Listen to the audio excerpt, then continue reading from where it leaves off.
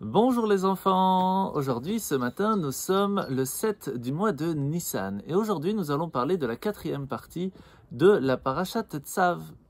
Aujourd'hui, nous voyons que Moshe va faire des habits très spéciaux pour Aaron à Cohen, le Cohen Gadol, le grand prêtre. Et ces habits ne sont pas là pour rendre joli simplement le Cohen, non. Ils sont là en l'honneur de Dieu.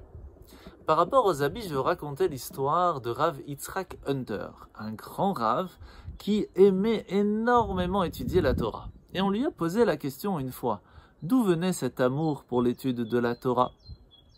Et il a expliqué qu'un jour, alors qu'il revenait de l'école et qu'il a dit à sa maman, regarde maman, j'ai pu finir aujourd'hui le livre de Baba Kama, tout un livre entier à l'école. Sa mère était tellement heureuse, le sourire, les yeux qui étincelaient, et elle a dit à son fils, viens, aide-moi, on va mettre la nappe de Shabbat. Elle a mis une très belle robe pour ce jour de fête. Alors son fils lui demande, mais maman, que se passe-t-il Mais mon fils, tu as réussi à étudier la Torah de façon tellement magistrale. Cela mérite que l'on s'habille et que l'on prépare la maison comme pour un jour de fête, un jour de Shabbat.